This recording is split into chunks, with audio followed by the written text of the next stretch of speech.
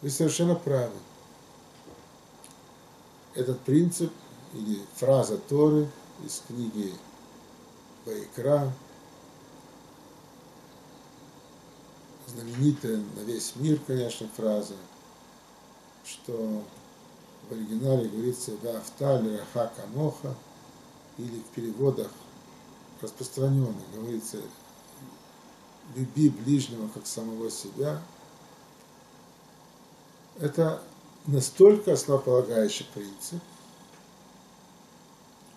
что великий Ари, Раби Ицхак Лурия, рекомендовал, чтобы в начале молитвы, в Шахарите утром, в Сидуре находилась бы эта фраза. И она действительно находится во многих молитвенниках, Сидурах. Или сама фраза, или такие слова, что я готов и хочу выполнить повеление Торы, это одна из 613 заповедей. Вот это полюбить ближнего как самого себя, я готов и хочу выполнить эту заповедь. Вначале другие заповеди не упомянуты, а вот это упомянуто. И Раби Акива сказал, что это Раби Акива, великий Раби Акива, сказал, что это клал Гадоль Батора, основа Торы и прочее, прочее. Почему так? Потом разберем другие ваши вопросы. Потому что в мире существует некая единая душа. Она была у Адама, первого человека.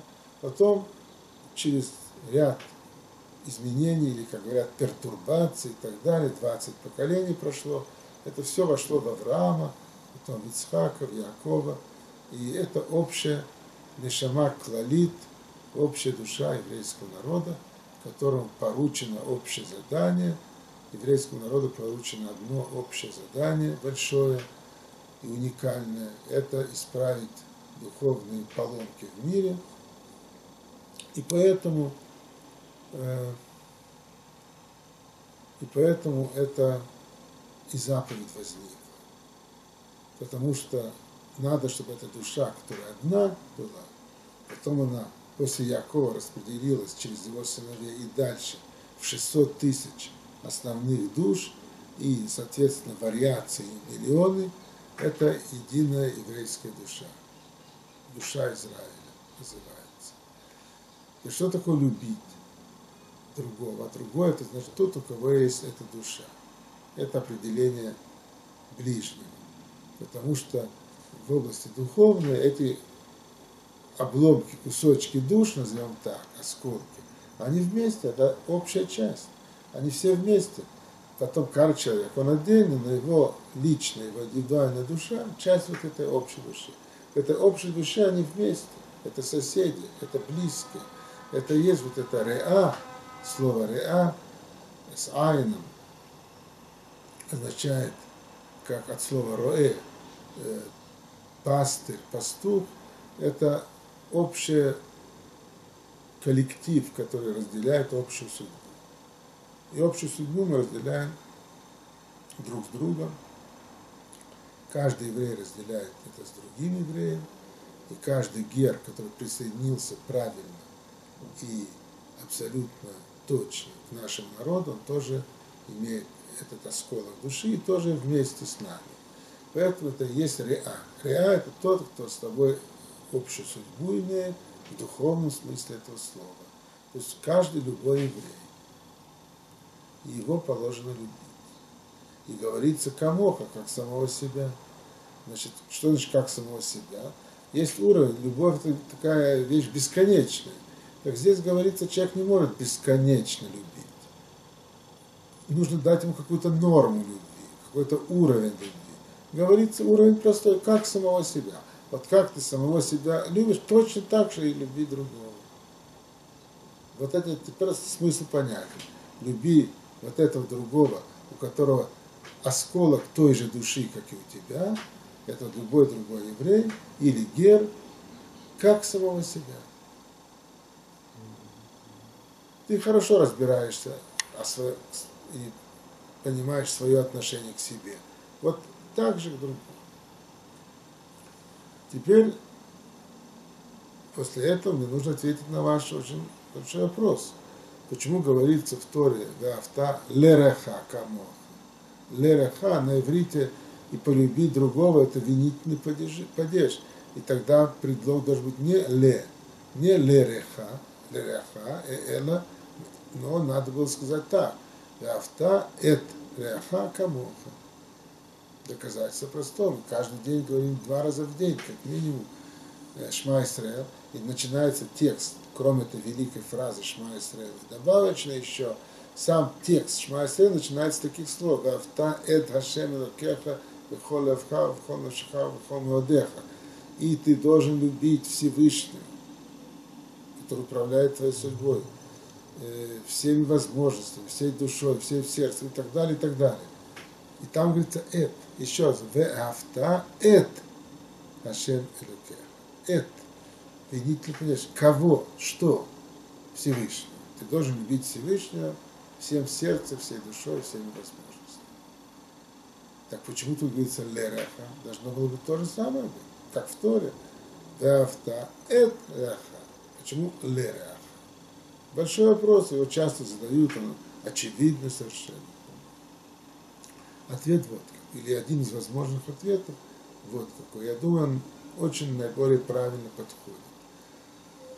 Эт в иврите, вот эта частичка эт, винительный падеж, в себе содержит еще и э, элемент такой совместности с то есть, когда говорится и полюби, ты должен любить Всевышнего, это Хашем Лукеха, то в Торе, и так Раби Акива сказал, и так все учителя говорят, означает еще, еще что-то или кого-то, кроме Всевышнего.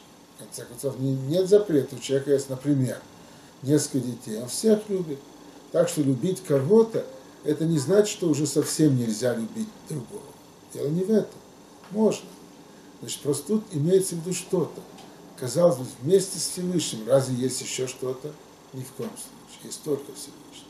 Что означает любить Его, это Шем если кроме Него нет никого? Нет никого. Но есть что-то, что приводит к любви к Нему, что помогает любить Его, что разъясняет это, что укрепляет тебя, это учителя Тора, это праведники. Поэтому это Шем Лукеха, любить Всевышнего и учителей Торы. Вот наш подход. Таким образом, мы три тысячи лет живем как евреи. Преклонение, почтение и уважение к учителям Торы огромное. И это в этой фразе Гафта эт Хашем Лукех. Это-то еще и еще кого-то. Кого? Учителей Торы. Теперь, почему нельзя сказать Лереха, кому эт Реха? Тоже можно было бы сказать люби этого еврея как самого себя, и еще кого-то, другого еврея как самого себя. Нельзя. Потому что в данном случае, когда говорится «люби Всевышнего», и еще учителей, никто не ставит учителей как Всевышнего на один уровень.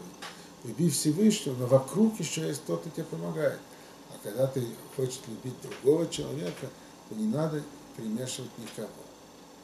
Как э, отец любит детей, он любит этого ребенка, и он любит другого своего ребенка. Нет противоречия никакого. Но когда он любит и помогает, и с этим ребенком, он в этот момент не должен заниматься никем, он должен целиком дать свою любовь этому ребенку. И так и с ближним, целиком ему. И это совершенно не отнимает, наоборот, у нас есть повеление любить каждого еврея. Поэтому совершенно не отнимает ничего. Но если любишь и в этот момент еще думаешь про других евреев, значит, ты не очень этого любишь. Это как бы некий только какая-то фигурка для тебя. А это не так. Ты его любишь действительно всерьез. Поэтому в эту секунду ты не думаешь про других евреев. А потом ты будешь про них думать, как про него. Поэтому лераха, это направляет тебя на этого человека. И в эту секунду только на него. Я думаю, что я помог вам, надеюсь, что стало лучше. И, и я разделяю ваши наблюдения, что вы пишете, что действительно у вас есть тут какие-то вариации, как переводить. Можно так и так, мы же переводами не занимаемся. Нам нужно на иврите фраза, на небесном языке. Вы ее знаете, я знаю, наши вот те, кто слушали, читали, тоже ее знают. И именно так. А то, что у вас есть э, просто легитимное такое прочтение, легитимно любое прочтение. Потому что главное не прочтение на русском языке, а на иврите. А вот, например, вы пишете, что, к сожалению, действительность помогает только любить ближнего человека в смысле такого же, как ты, похожего на тебя и прочее, прочее. Да, это факт жизни. Конечно, ваши наблюдения верные. Но заповедь Торы дается как заповедь именно потому, что тяжело любить человека, который не такой, как ты. Если бы такой, как ты, не был в этой заповеди. Это совершенно, как говорится, э, вот видите, забыл даже выключить телефон, мы сейчас, конечно, это выключим и все. Понимаете, это не так. Это совершенно не так, что э, надо любить только того, кого удобно любить. Опять та же модель. Отец любит ребенка, допустим, несколько детей. Нет такого, если это нормативный, правильный отец или мать то же самое, но просто два уже пример отца, что он будет любить одного и не любить другого. Это, наоборот, запрещается так. Даже нельзя показывать, если даже есть такое, нельзя это показывать, потому что приводит к разделению. Историю Иосифа и братьев не помню. Нельзя даже показывать. И поэтому, конечно, удобнее любить того, кого удобно любить. Но заповедь дана, чтобы любить каждого еврея, потому что его душа и твоя душа, они часть одной души. Они вместе, вот так. Поэтому надо любить каждого еврея. И нужно обязательно сказать, потому что есть такие тенденции, я принимаю всех, я люблю всех, так называемой неумной всеобщей любви. А именно, что как бы человек не вел себя, я его люблю, это правильно. А вот как бы себя не вел себя, я все равно его поддерживаю, его дела поддерживаю, вот это неправильно. Я совершенно не должен, не обязан, совершенно не обязан поддерживать каждое дело, каждый поступок другого еврея. Совершенно нет этого. Это не относится к любви. Отец должен, если он опять правильный отец, он должен любить ребенка, что бы тот ни делал, без всяких условий. Но он совершенно не должен э, одобрять и поддерживать какие-то поступки своего ребенка. Это совершенно разные вещи. Поступки это одно, а любовь это другое.